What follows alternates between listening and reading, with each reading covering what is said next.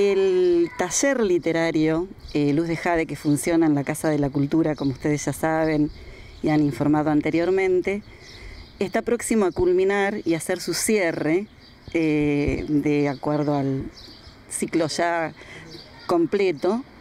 Entonces se pensó desde el mismo taller Luz de Jade cómo dar continuidad a, a, esto que se ha iniciado, que es muy interesante, donde estamos nucleados escritores locales y pensamos en un café literario, pero no en un café eh, mm, reducido a un lugar cerrado, a un ámbito cerrado donde pocas personas mm, puedan reunirse, sino mm, en un lugar abierto. Entonces empezamos eh, con este café literario hace 15 días, el 11 de octubre. La idea es hacerlo cada 15 días, siempre los viernes 2030 puntualmente. La puntualidad es algo que queremos también este, mm, constituir dentro del, del, café.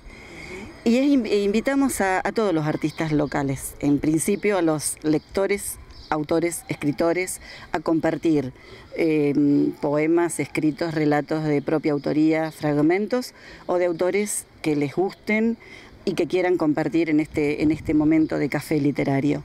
Pero también se invita a, cantantes, de hecho en el anterior nos acompañó Nahuel Gómez, este, que, que se sintió invitado, convocado por esto mismo que también se había hecho de manera abierta.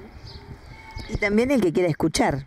Exactamente, exactamente. El que quiera escuchar sin, sin llevar nada, o quien quiera mostrar una obra de escultura personal o un cuadro, si las proporciones, el tamaño del cuadro lo permiten, también llevar y compartir su trabajo, cualquiera de las bellas artes, porque se trata de justamente compartir todo, todo esto que eh, levanta, enaltece al ser humano, ¿no? A través de, de, las, de las bellas artes. En nuestro caso, la escritura.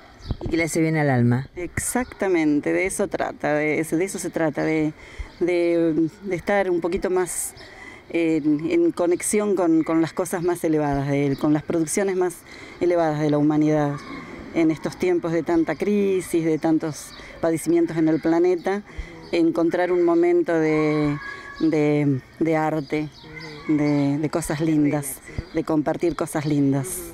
Eh, el lugar donde se realiza la dirección para que la gente que quiera concurrir. Sí, eh, se realiza en Máximo Gil 34, es un lugar abierto. Invitamos, repito, a la comunidad que quiera sentirse este, convocada. Y también quiero aprovechar para, comentar que este, desde la Sociedad de Escritores Locales, que no estamos agrupados todavía como tal, estamos gestionando para, constituir la Sociedad Argentina de Escritores, filial Chacabuco, dependiente de la eh, SADE Central, este, y serían nuestros gestores culturales, padrinos, la gente de la SADE Chivilcoy, que son Marta Clesi y Vivian Cast, escritoras, y Marta Clesi, presidente también de la SADE de Chivilcoy.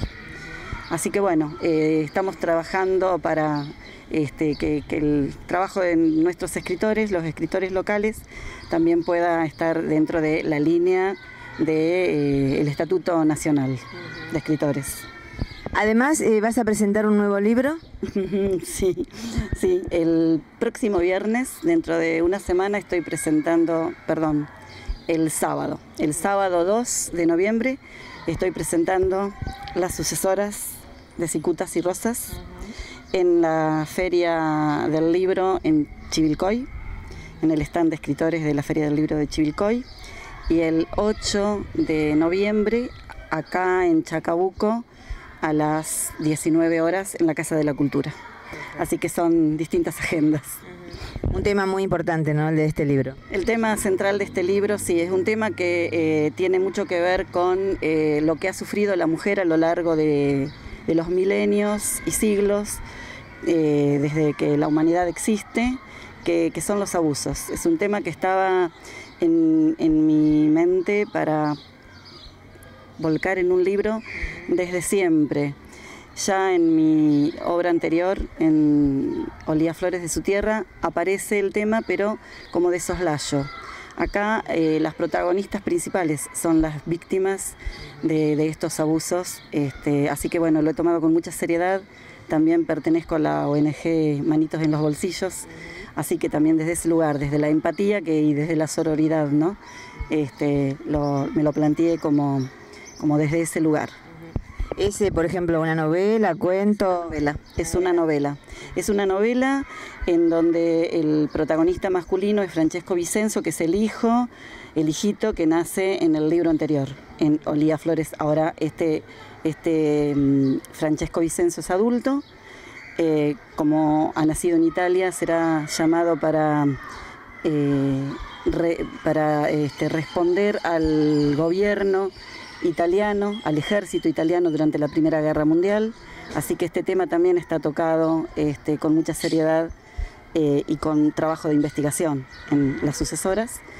Y las protagonistas eh, femeninas, eh, Ana, María del Pilar, Cándida, esto está situado en la zona rural de la provincia de Buenos Aires y acontece en el casco de una estancia Así que bueno, el lector lo va a ir encontrando dentro de las páginas, cómo se desarrolla eh, todo esto y cómo cada protagonista se defiende o sobrelleva o sufre o padece eh, estas historias de tanto sufrimiento.